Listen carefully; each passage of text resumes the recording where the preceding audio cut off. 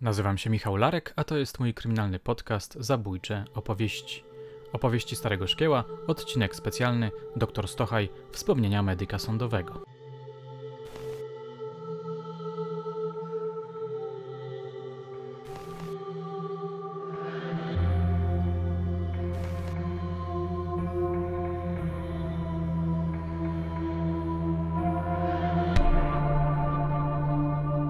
Drogie, moi drodzy, zabierałem się do tego od dawna, ale czas nie sprzyjał.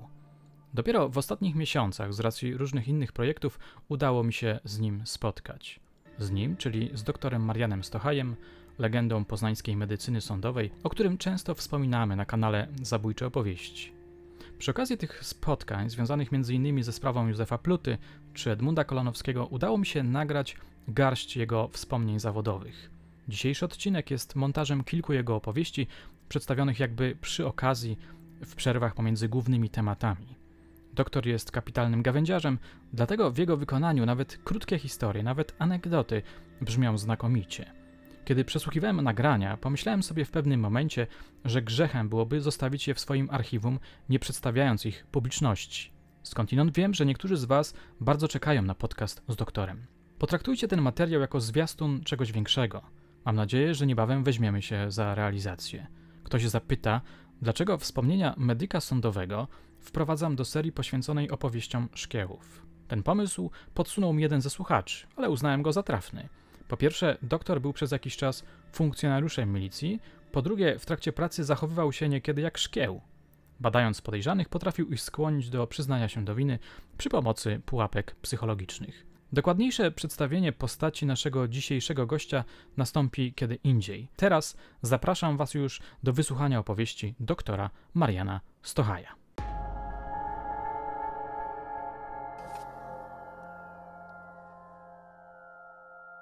zabójstwa na tle seksualnym. Zaczynamy od króciutkiej historii, w której pojawia się na moment pewien znany polski pisarz.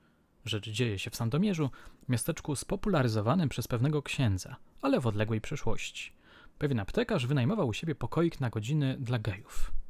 No i tam znaleziono zwłoki chłopaka na łóżku, który został zamordowany takim syfonem, jak to były po wojnie, a czy za PRL-u takie syfony do wody mineralnej z takim przyciskiem, takie grube szkło i tym tam było zachlapane krwią. No i sprawcę. Szukali, szukali, szukali tego sprawcy. Posadzili faceta. Rozprawa się odbywa, a on nic, w czasie śledztwa nie przyznawał się do niczego, nic, nic, nic, ale jego tak upierzyli i tak, bo musieli wykryć sprawcę. Nie? No i na rozprawie ja jestem też wezwany, do, żeby obrażenia opowiedzieć, co tam było. No i jest słuchany oskarżony, no, jak się proces rozpoczyna, akt oskarżenia odczytany, potem czy oskarżony ma do powiedzenia pytania na niego, czy się wyznaje nie, czy zrozumiał akt oskarżenia tak, czy przyznaje się nie, a czy może coś powiedzieć. On mówi, ja tylko mogę jedno zdanie powiedzieć. I przedstawia żelazne alibi, że on tym, nie tylko w tym dniu, ale w ogóle tydzień poprzedzający to zdarzenie i tydzień następujący po tym zdarzeniu, bo w ogóle za granicą był. No i padła. A to, to przedstawił, jeszcze powiedział, szukajcie sprawcy, między innymi to może być pan Iwaszkiewicz. Ja nie skojarzyłem, nie? Jakiś Iwaszkiewicz. Nazwisko dosyć popularne. Miałem kumpla Iwaszkiewicza też w Warszawie, był lekarzem policyjnym komendy miasta. Się okazało, że Iwaszkiewicz. Jarosław. Bardzo częstym gościem tam był w tej aptece. ale mi się okazało, że to nie, Że to nie ma.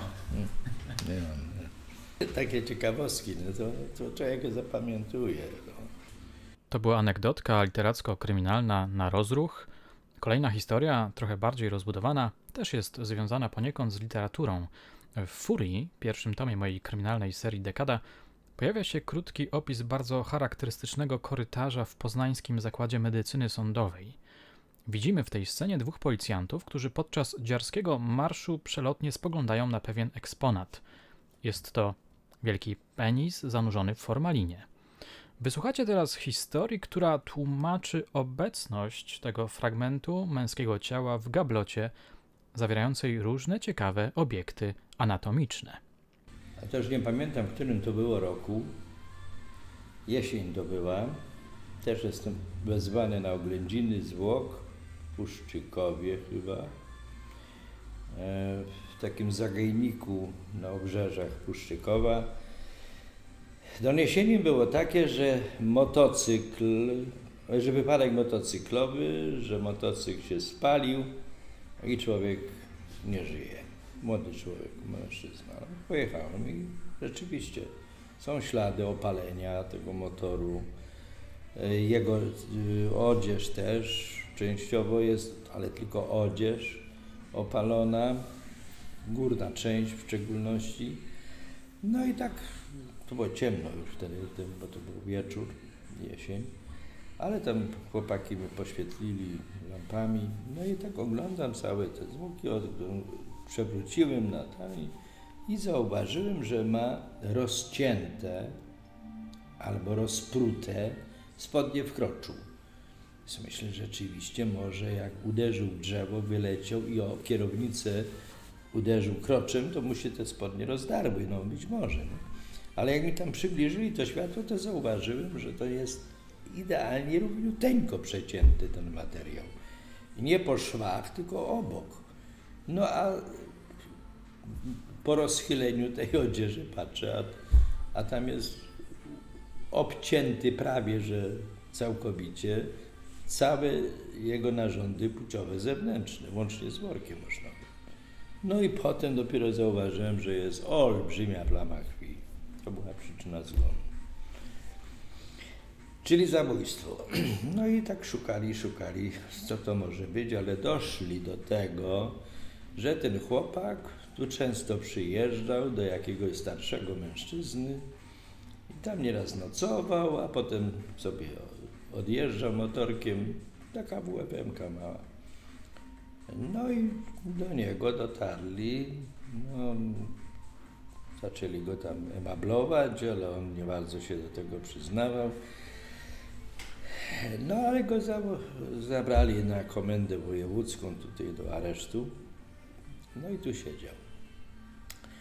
Siedział tutaj no, dwa czy trzy tygodnie, bo to, to, było tak właśnie pod koniec listopada, późna jesień.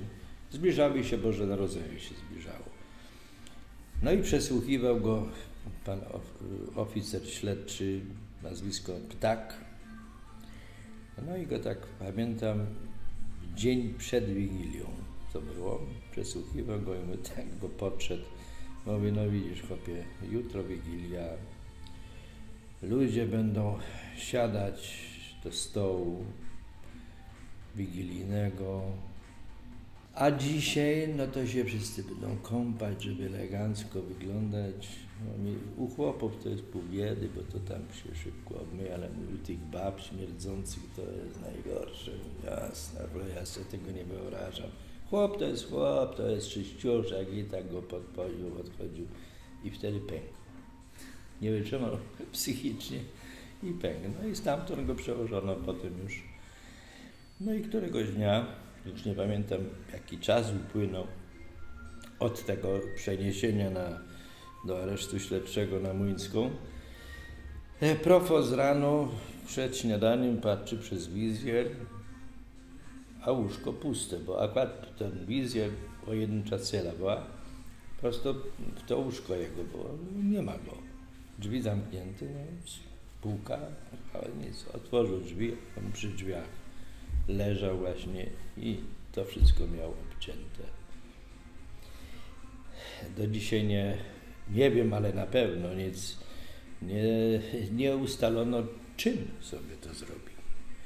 Bo to były czasy, gdzie paska nie można było mieć, sznurowadeł nie można było mieć, przyrządów do golenia nie można było mieć, ani też sztućców bo dostawał też sztućce, jak mu, jak mu przynosili jedzenie.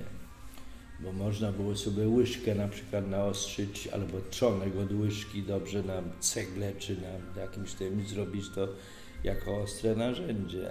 A tu było tak wychechmane, co prawda były zadziory, to nie tak jak Kolanowski. Tu były zadziory takie, no bo to miejsce, no nie profos zauważył że tam leży takie narzędzie i to schował, bo miałby odpowiedzialność za to, że nie dopilnował. No i, no i tak to jest. No i te preparaty oba cwaj są w jednym teraz słoiku i się pogodzili chłopaki. Po śmierci. Tak, no, no. Tyle, to były lata 70 gdzieś? Nie, po pewnie. Druga połowa jakoś. Już nie pamiętam, w którym to było roku. No właśnie, a jeśli chodzi o pobyt w Warszawie, sprawa Jana Gerharda, bardzo znana, słynna wtedy. Tak, no to, to było niesamowite. On mieszkał narożnik Alei Ujazdowskich i, i Wiejskiej, tam gdzie do Sejmu się wchodzi. Na tym narożniku jest, znaczy była wtedy e, restauracja Belweder takie bloki były. No i on w tych blokach właśnie tam mieszkał z żoną i córką. Tym, że córka bywała bardzo często we Francji i w tym czasie jej nie było w domu. A z żoną y, to już tak żył raczej y, na bakier, to znaczy pewnie oddzielnie. Oni mieli olbrzymie narożnikowe mieszkanie. Jak się wchodziło klatką schodową, to można było na wprost wejść i tu na lewo i obejść to wszystko. Tutaj się w amfiladzie takie pokoje były. No oni tam sobie to podzielili, chyba jakoś, że ona miała tu wejście, on, on miał wejście boczne. No i już teraz nie pamiętam, listonosz chyba, czy ktoś pukał, czy, bo on nie otwierał drzwi nikomu. Jedynie listonoszowi. Przez chwilę, jak zobaczył, że to jest listonosz, to to mu otworzył, ale nikomu poza tym nigdy nie otwierał drzwi. Obojętnie kto by to nie był. No i ten listonosz dzwoni, dzwoni, nie otwiera, no i potem ten listonosz zrobił taką akcję, że otworzyli te drzwi, no i pokoju, w takim salonie, na dywanie leżały zwłoki jego. E, w pobliżu tego, tych zwłok była szafa, taka odzieżowa. W drugim narożniku był biurko jego, on był redaktorem wtedy naczelnym. E, I na tym biurku no, papiery, kalendarz, w szufladzie pistolet, nietknięty zupełnie, tam badali ślady i wszystko badali, czy tym nie został uderzony. On został uderzony, a potem przy, do twarzy miał przełożoną watę albo jakąś matę z eterem, że go uśpiono, a potem zadzierżnięto jego własnym paskiem od spodni. Ale miał obrażenia na głowie też. No i teraz był problem, czy to jest od tego pistoletu na przykład. No i dlatego to pistolet był badany na linie papilarne, nie, nie tylko był jego. E, tu w rękach między palcami było kilka włosów. No więc myślano może, że jakieś e, walkę stoczył i komuś za głowę i wyrwał włosy, albo może jakieś dziewczyny. To nie były ani, e, ani włosy od sprawcy, ani od dziewczyny, tylko z dywanu. Jak miał już drgawki pośmiertne i ręka mu się zaciskała, to na dywanie było od cholery włosów. Nawiasem mówiąc, chyba z 50 próbek włosów mi przysłali do badania, bo on lubił sobie dziewczynki sprowadzać. No i te dziewuchy zostawiały te włosy. No i to były takie e, z pierwszych stron gazet dziewczyny e, i ze świata artystycznego, przeważnie ze świata artystycznego. I tym wszystkim kobitkom pobierano włosy do badań porównawczych. Nie?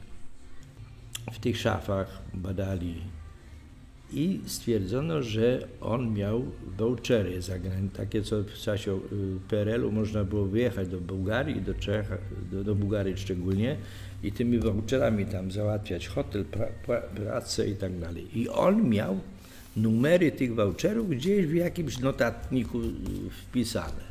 I tego nie mogli znaleźć. Ale przeszukali To sobie zrobili też taki, przeszukali w tym różnych y, ośrodkach wypoczynkowych, między innymi w Bułgarii i dorwali, że tam ktoś tymi voucherami się posługiwał, gdzie musiał okazać dowód osobisty czy paszport. Jeszcze wtedy paszportu, takie wkładki paszportowe były. No i wyszło dwa nazwiska, znaczy jedno nazwisko wyszło, że ktoś korzystając z tych voucherów posługiwał się swoim nazwiskiem. I tak doszli do sprawcy. Ale on nie był sam ten sprawca, tylko był z kolegą. E, a ten sprawca to był narzeczony jego córki. Narzeczony jego córki, taki przystojny chłopak, e, elegancki, w golfie czarnym chodził, bo wtedy to była ta francuska fala kina, jak Gerard Philippe w takim czarnym golfie chodził, to taka moda była wtedy, ciemne okulary jak Cybulski i on był z tej, że tak powiem, z tej epoki i, e, tak też się nosił. Zresztą tak na cmentarzu też, na grobie był też z, z tą swoją narzeczoną. No i tak wykryto dwójkę tych chłopaków. Się okazało, że oni temu, było, jemu, temu chłopakowi było Zygmunt na imię i ten w kalendarzu miał wpisane datę, w którym ten Zygmunt miał przyjść, no, aczkolwiek nie tolerował go jako narzeczonego swojej córki, no ale na rozmowę miał przyjść. No i było napisane dziesiąta tam, ten Zygmunt. No tam się, on czekał na niego no, i dlatego go wpuścił. No, ale go wpuścił z takim drugim oprychem, i ten drugi oprych od razu w drzwiach, jak on otworzył drzwi Gerhard, on miał takie okulary ze złotą obwódką, taką, taką ramki ze złota, to te też dupki w tej otwartych drzwiach od razu dostał fangę, został uderzony w twarz i te okulary mu spadły. I, który, I ten drugi, który wchodził, to nadepnął i te nie zauważył i te okulary tam leżały. I sąsiedzi potem stwierdzili, bo on drzwi, ten, ten sprawca, wziął klucz i zamknął te drzwi od zewnątrz, jak wyszli już po zabójstwie. Także drzwi były zamknięte i ten listonosz ciągle dzwonił, nie mógł przyjść, ale zauważył te okulary. No i stąd ten alarm, że otworzyli te drzwi. A czyli okulary były na zewnątrz? Na zewnątrz, w progu, tak, na wycieradce. Ale były takie malutkie, wąziutkie, płaskie i tak z daleka nie było ich widać. One tak się osunęły z tej wycieraczki i tak sobie tam leżały. Nie? No, więc oni go w, ta, w taki sposób yy, doszło do tego zabójstwa. Myśmy tam to mieszkanie, to oględziny mieszkanie robili tydzień. Tydzień. Zamontowali nam specjalną linię telefoniczną. Bez przerwy któryś tam z generałów, wiceministrów, innych bez przerwy wydzwaniali do takiego pułkownika, który tam z nami te oględziny robił. No przeszukaliśmy wszystko. Mówię bardzo skrótowo, to trwało niesamowicie długo i, i cholernie żmudna praca była. Najgorzej było z tymi włosami, jest. Nie wszyscy pewnie kojarzą sprawę zabójstwa Jana Gerharda, pisarza, redaktora naczelnego tygodnika Forum, byłego żołnierza, posła na Sejm. To była głośna sprawa, rozważano rozmaite, mniej lub bardziej sensacyjne scenariusze – Morderstwo popełniono pod koniec sierpnia 1970 roku. Chciałbym kiedyś zrobić dłuższy odcinek na temat tego przypadku. W pierwszej połowie lat 70. dr Stochaj pracował w Warszawie. A pamięta Pan jakąś taką y, sprawę, w której ważną rolę odegrały Wasze, Pana y, ustalenia jako medyka, medyków sądowych? No to przeważnie e, nasze opinie były podstawą do, do ustaleń nie tylko przyczyny zgonu, ale i też okoliczności, w jakich mogłyby powstać. No to to cośmy z Jurkiem ostatnio mówili o tym chłopaku. Y, Na moment się wtrącę tytułem wyjaśnienia. Wspomniany przez doktora Stochaja Jurek to Jerzy Jakubowski, doskonale znany wam oficer. Sprawa dotyczy zabójstwa na weselu. Oto pan młody w dniu swojego wesela został odnaleziony martwy w samochodzie. Ktoś go udusił. Początkowo były problemy z ustaleniem narzędzia zbrodni. Inspektor opisywał to zabójstwo w swojej książce Policjant Mówił także o nim w pierwszym wydaniu Martwych Ciał przy okazji krótkiej analizy dobrych przesłuchań. No to ja te sekcje robiłem, ja to na tej szyi, te bruzdę, jak badałem, to ta bruzda była identyczna, ja to porobiłem zdjęcia i jak na tej bruździe to były co kawałek takie wgłębienia, wgłębienia w tę bruzdę. Takie, co, I to powtarzało się z regularnością co do milimetra mniej więcej. Więc to wyglądało jak dziurki od paska spodni na przykład. Są równo rozmieszczone, nie? Tylko dziurki od paska nie spowodowałyby wgłębień w bruzdę, tylko tak. No a to były takie, takie wgłębienia. I to wąziutka ta bruzda była cały czas jednakowej szerokości. Nie było, że tu, tu grubsza, szersza, tu węższa, jednakowej. No i to nie dawało spokoju. Co to może być za narzędzie? I potem pojechaliśmy na miejsce zdarzenia do tej, tego zajazdu gierkowskiego, bo to był typu gierkowskiego zajazd. No i tak patrzyliśmy na to miejsce zaparkowania i między innymi tam rosły wierzby. I jak zerwaliśmy jedno z tych gałązek, ja patrzę, no, to, to co się wydarzyło, to była jesień, to już nie było tych pączków, tylko były te łuski takie twarde na tych gałązkach po, po odpadnięciu list, listków i one spowodowały te. No i taką gałązkę zrywaliśmy, patrzymy, cholera, jest dokładnie taki sam wzór i taka sama regularność występowania, bo to jest natura, nie? To, jest, to, to, to przyroda ta stworzyła tak, a nikt inny. No i to było między innymi e, stwierdzenie narzędzia zbrodni. No i potem się okazało, on siedział za kierownicą, on był zmęczony i poszedł sobie drzemnąć się, a kobietki po północy poszły do samochodu, bo w bagażniku miały akurat ta jego, on ze szwagrem był i z, i z dwiema kobietami. Ciuchy na przebranie, no ale patrzyli, a on sobie oparty o, o zagłówek, no, śpi, no to niech śpi, nie będą mu przeszkadzać, no ale no, potem coraz to bardziej, no, on cały czas spał, bruzdę już. Nie.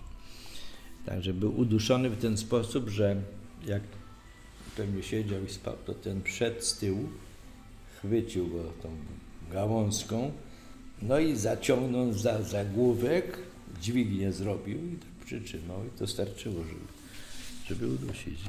Potem rozprawa była i na rozprawie adwokaci podważali nas skąd ten, a może to inne narzędzie, a inne to. Kazali badać wytrzymałość takiej gałązki, czy ona by wytrzymała ucisk, ile to musi być. Politechnikę zawezwali do, do opisania y, sił, jakie wytrzymuje y, ta gałązka przy rozprężaniu, zginaniu, no cuda, nie widzę, niepotrzebne zupełnie to było. No ale te ekspertyzy były. Ci inżynierowie, no oni nie rozumieli sedna tych badań. No, oni badali tak, jak to uczy nauka mechaniki, nie? Na udarowość, rozciąganie, zgniatanie. Porobili tych badań od cholery, które nie miały żadnego większego znaczenia. A tylko chodziło o to, żeby chwycić i pociągnąć i się, i się zamknął tętnicę i to było to. To się przyczyniło między innymi do wyjaśnienia mechanizmu śmierci i okoliczności, że akurat w tym miejscu takie coś rosło i taka gałązka była narzędziem zbrodni. Jakiś czas temu wypuściłem podcast, w którym kapitan Czechanowski opowiadał o swoim uczestnictwie w śledztwie o kryptonimie Anna. Tak się złożyło, że dr Stochaj również był w nie zaangażowany. Wykonywał pewne specjalistyczne badania. Zagodnąłem o to. Posłuchajcie. Przekonajcie się, na czym polega prawdziwa robota śledcza to tam miesiącami żeśmy pracowali na ten temat.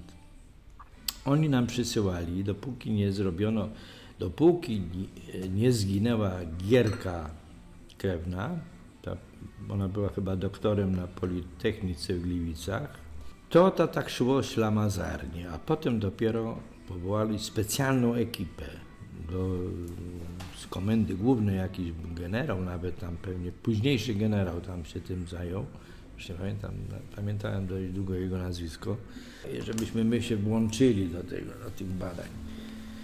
No więc przysyłali nam schematy, zdjęcia fotograficzne i schematy złamań kości czaszki, bo to dotyczyło tylko i wyłącznie głowy. To znaczy był, było zdjęcie fotograficzne obrażeń zewnętrznych, potem czaszki, jeszcze bez odpiłowania i nanoszone to było wszystko na schematy rysunkowe i to wszystko żeśmy zgrywali ze sobą. Porobiliśmy kserokopię na folii i nakładaliśmy jedno na drugie, czy są jakieś regularności, czy to jest to samo narzędzie, czy rozkład tych promieni złamań powtarza się, czy to jest przypadkowa okolica głowy. Niesamowicieśmy napracowali, nic z tego nie wychodziło.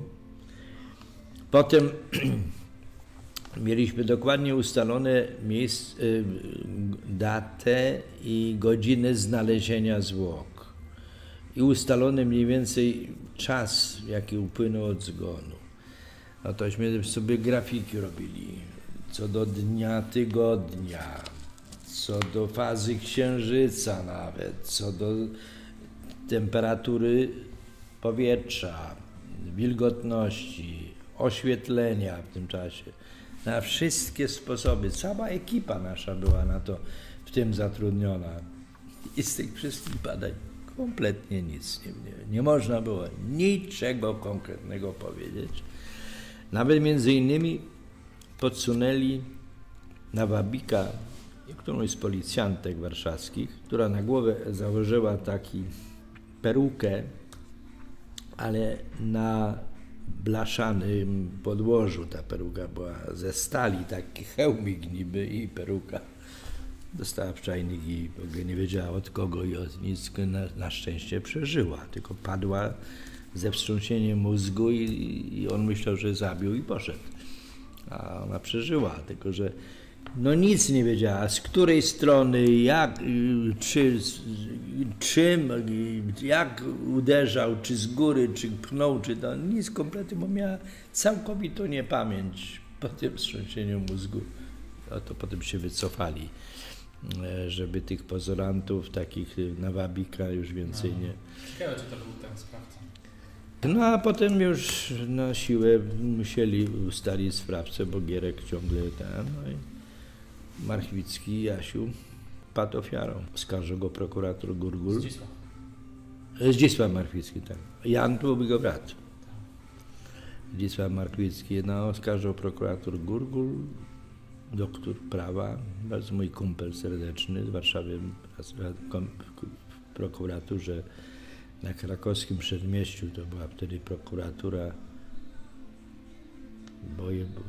wojewódzka, czy naczelna prokuratura chyba, naczelna.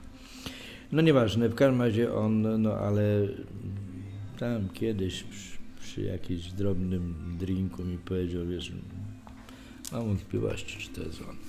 No ale, ale, ale niestety został skazany. No i to było też z punktu widzenia czysto prawnego dosyć dosyć y, zagadkowa sprawa i do końca niewyjaśniona. Tam jego przeszłość badali, jego życiorys, y, co się tyczy kobiet w ogóle. On tam podobno w czasie swojego ślubu poszedł do jakiegoś do drewutni z jakimś zwierzątkiem, czy tam gadali, że skórą, no takie, takie, takie blubry, cholera. No. No dość na tym, że to było mm, bardzo szerokim frontem szło. Akt oskarżenia chyba miał 100 stron. Prawniczo perełka. No i skut, no i efekt taki, jaki był. No i po paru latach ten dok, doktor Gurgul napisał habilitację z tego. Na, na podstawie tego materiału napisał taką jakby glosę, która miałaby raczej e, być wskazówkami, jakie tory śledztwa były fałszywe, jak tu trzeba uważać na ten. No ale niestety recenzenci, bo nie można tego pisać. Tutaj ucinam opowieść. Morał jest ciekawy, choć banalny. Bywa tak, że badacz badaczowi wilkiem i próbuje zniszczyć koledze karierę naukową. Na koniec dwie historie, nagrane innym mikrofonem, więc dźwięk będzie brzmiał trochę inaczej. To opowieści o brutalnych zabójstwach na tle seksualnym. Teraz żeśmy rozmawiali na odprawie, jak, jak można skutecznie, jako lekarz, doprowadzić sprawcę do tego, że się przyznał. Takie było zabójstwo pod Pleszewem dziewczyny, która zaginęła po raz pierwszego dnia nabożeństwa różańcowego, to jest jesienią nabożeństwa różańcowe. Ona chodziła do kościoła, bardzo pobożna była, książeczkę miała różaniec i tak chodziła do kościoła. 18-letnia dziewczyna. Ona miała swojego faceta niby, znaczy w tym sensie, że on raczej myślał, że to będzie jego dziewczyna i tam koło niej chodził, chodził, chodził. Ona ciągle odmawiała, że się nie chciała z nim spotykać, bo ona jeszcze taka była bardzo e, nabożna i, i, i, prawa dziewczyna. Tak? Przed ślubem nic z tych rzeczy. I tam po jakichś dwóch czy trzech tygodniach jej nieobecności ludzie, którzy wracali z kościoła nabożeństwa, tylko nabożeństwa różańcowego, musieli iść koło ściany lasu. W tym momencie zadzwonił kapitan Czechanowski, zagłuszając nieco narrację doktora Stochaja, dlatego pozwolę sobie dopowiedzieć kilka brakujących zdań. Otóż przy ścianie lasu był lej po bombie z czasów II wojny światowej. Ów lej porośnięty trawą sprawiał wrażenie naruszonego. Wyglądało to tak, jakby ktoś z niego pobrał ziemię. Sprawdzono to okazało się, że tam właśnie zostały ukryte zwłoki zaginionej dziewczyny. Doktor Stochaj przeprowadził sekcję, w czasie której stwierdził, że klatka piersiowa została zmiażdżona, odłamy żeber przebiły płuca i serce. Śmierć nastąpiła zatem w wyniku tak zwanego kolankowania. No to z listy biegłych ustalili, że to musi być Franek. I go do tej komendy po, po tej sekcji przeprowadzili. No i zacząłem tam przesłuchują, obsłuchują, idzie w zaparte, że nie jest nie tak. No ale oględziny miałem zrobić, to, to oczywiście był pic na wodę, oględziny, po cholerę oględziny robić sprawcy, jak, jak to się stało tam dwa, trzy tygodnie temu, nie wiem jakie on może mieć ślady. No ale nic. Ja miałem technikę opanowaną już taką. Kazałem się zebrać do majtek. I tam badam go, no, tak, normalnie po lekarsku badam ciśnienie, mu zbadałem wszystko. Ja mówię, o ciśnienie ci podskoczyło po boku. On tam by się denerwuje. Ja mówię, czego się denerwujesz? Czego się denerwujesz? Ja tylko cię badam, przecież ja tu nie będę cię operował, więc po co się denerwujesz? No ale wie pan, jednak mimo wszystko. No dobrze, a taką siłę mięśniową masz? O, no, porządnie, miły, fizycznie pracuje. No. My to dobrze, dobrze, no nie jesteś otyły, okej. Okay. Mówię, no teraz my tak zrób.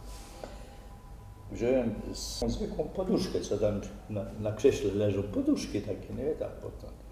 Położyłem na podłogę, mówię, teraz uklęknij na tę poduszkę. Tak jak w kościele klękasz. No to na jedno kolano, na drugie no dobra, teraz proszę wstań, a teraz spróbuj uklęknąć dwoma kolanami równocześnie. O, tak się rechle, rechle, rechle, no uklęknął. Nie, ale widzisz, to jest jeszcze nie tak. Jak ty masz taką siłę, to ty tak stań i tak z całej siły uklęknij, zobaczymy, czy będzie odgłos. I on tak huknęło jak piorun, nie widzisz. I tak byś na, Alin, na, na, no powiedzmy na Alinkę skoczył, na klatkę wleciał. On mówi, a skąd pan to kurwa wie? No już po, po, po krzyku, nie? No, tak, nie widzisz, no i złamałeś wszystkie żebra. No, no nie chciałem. My to dobra, idź, jesteś zdrowy. No i no przy okazji można było napisać, że może, być, może przybywać w areszcie, nie? że nie ma przeciwwskazań lekarskich. To była ta intencja, że czy może być odwieziony na izolację ze względów zdrowotnych. No. Oczywiście się od razu, tego samego dnia, przyjdzie do drugiego pokoju, przyznał się, wszystko powiedział, jak no, mhm. no, no to taki było, a drugi był przypadek żołnierza w Jarocinie, który był na przepustce jako żołnierz. Tę historię prezentowałem już w którymś z ostatnich odcinków, ale zapewne nie wszyscy ją słyszeli. To kolejny dowód na to, że dr Stochaj to medyk, który ma czy miał duszę śledczego. Z powodu operacji przepukliny i miał zdrowotną przepustkę. I też do takiej fryzjerki, dziewczyny, bardzo ładnej, Irenka jej było na imię, mieszkała, jak pan zna, Jarocin, się przejeżdża dawną trasą po lewej stronie jest taki park. No to ten park, tu trzeba było obejść ten park, tu była taka wolna dróżka i jeden pojedynczy budynek, gdzie ona mieszkała. Rodzice bardzo bogaci, tam mieli willę swoją, aż willę, domek jednorodzinny. Ale trzeba było tędy iść. I on się, on był rudy, piegowaty i ona nie chciała z nim. No ale tak namolny, był namolny. Ona się z koleżanką mówiła krytycznego dnia do kina, to była zima i on poczekał pod kinem, napił się najpierw i potem ją powiedział, że teraz się będę odprowadzał. Odprowadził ją przez rynek, obszedł ten i tu ją zaatakował. Tu ją zaatakował, widać było ślady na płocie drucianym, gdzie jest zielonkawy taki nalot od północnego tam, że otarte jest ten płot z tego zielonkawego nalotu. Tu na ziemi są poryte takie dwie smugi od jej obcasów, bo ona w kozakach była. Na sekcji było na płaszczu ślady te zielone, podniesiona płaszcz i sukienka i majtki takie zimowe do kolan spuszczone. E, tu miała golf, na golf, golf był sunięty ślady dławienia ze śladami krwi, bo najpierw grzebał na dole, poplamił sobie rękę, a potem ją jak ona zaczęła krzyczeć, tu zasunął, tam te plamy też były. No i dodatkowo jeszcze na liściach, bo to był mieszany park, drzewa mieszane, liście zaschnięte, bo to był grudzień i na tych liściach były takie ślady, jak ślimak by przeszedł oraz nadpalone zapałki, no, dosyć mnóstwo tych zapałek i rękawiczka z prawej ręki, żołnierska rękawiczka bawełniana, taka zielonkawego koloru. Zawołali psa, zawołali. Helikopterem przywieźli psa z Olsztyna, najlepszy pies tropiący. No i technik głupi był, bo ten pies nawąchał te ślady spermy, no i, i dalej już nic nie chciał nawąchiwać, bo to jest tak silny zapach, że a to imię przeleć się z nim po polach, bo to już były pola. Z 2-5 kilometrów, żeby stracił to i niech nawącha tę rękawiczkę.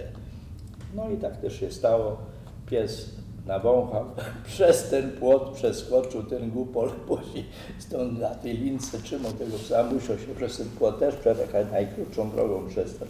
Zaprowadził go do mieszkania, gdzie żołnierz e, leżał w łóżku pijany, rozebrany e, z munduru, tego kalesony miał.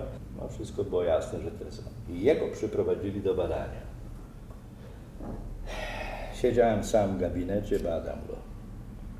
Aha, jeszcze w czasie sekcji stwierdziłem w pochwie rude włosy. No to były jego włosy. Badam go. Zebrałem go do naga. Mówię, pokaż tego twojego fifolka. Albo rękawiczka. Miałem mikroskop. mikroskop. No, on pokazuje. No. A tam są ziarenka piasku, czubek dytka oklejony jeszcze spermą i kilka włosów tych ciemno, takich, no, ciem, ciem, ciemnego koloru, takie jak ona miała na wzgórku. Ja mówię, no i co jej zrobiłeś, chłopaku? Ja tam nic, ja tylko odprowadziłem, tak? No ale widzisz, chłopie, tu masz na tym czubku takie ślady. Ja ci muszę niestety zbadać to, ale innej metody nie mam, tylko muszę kawałek obciąć, włożę pod mikroskop i będę to badał. Mówi, nie, nie, panie, nie, ja już się kurwa przyznam, ja już mówi, ja ją kocham, no nie, no i teraz napoliło mnie. W tym momencie komendant wszedł. Ja myślałem, że go zastrzelę, tego komendanta mnie Chłopak by na protokół przydał, aczkolwiek ja nie miałem prawa pisać. No ale do drugiego pokoju i wszystko powiedział. Dostał karę śmierci. Została wykonana kara śmierci. Jak na rozprawie w Kaliszu opowiadałem, jak to było, jak on ją doprowadził, co robił z nią na podstawie tych śladów, które tam były. Że ona oparła, na, najpierw była oparta o, mu, o ten parkan druciany, potem przewrócona, potem te wszystkie, te, wszystkie te ślady połączyłem razem, to wszystko opowiedziałem przed sądem. Sędzia mówi do oskarżonego, oskarżony wstać, pytania macie do biegłego? On mówi tak. Ja tylko chciałem zapytać, skąd to wszystko wiesz? No to sędzia mówi, zostaniecie ukarani grzywną porządkową za obrazę sądu. Mówi, pocałujcie mnie w dupę waszymi karami i tak dostanę KS. No i dostał KS. Przez rozstrzelanie był żołnierzy. Żołnierzy rozstrzeliła. W Warszawie został wykonany wyrok.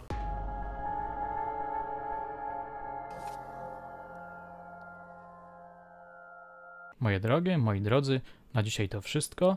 Mam nadzieję, że odcinek przypadł Wam do gustu. Zachęcam do lajkowania, komentowania podcastu. Jeśli macie pytania do doktora Stochaja, prześlijcie mailem, chętnie przekażę je medykowi. Przy okazji przypominam, że na początku sierpnia odbędzie się premiera audioserialu pod tytułem Sprawa Edmunda Kolanowskiego, autorstwa mojego i Marcina Myszki. Usłyszycie tam m.in. doktora Stochaja. Opowiada tam bardzo ciekawie, na przykład o badaniu Kolanowskiego. A jeśli zastanawiacie się, czy ten serial przyniesie coś nowego na temat tej sprawy, to pragnę z miejsca rozwiać wasze wątpliwości. Przyniesie nowe informacje, smaczki, sceny. Jeden przykład. Ostatnio rozmawiałem z człowiekiem, który jest spokrewniony z pierwszą żoną Kolanowskiego. Opowiedział mi kilka zapadających w pamięć ciekawostek. Dodam jeszcze, że naszym partnerem jest CBS Reality, która 3 sierpnia startuje z serialem dokumentalnym Kryminalne Śledztwa PRL. Zobaczycie tam m.in. Majora Wojtniaka, doktora Mariana Stochaja, Marcina Myszkę, Michała Larka. A teraz dziękuję Wam za uwagę, ściskam mocno, do usłyszenia.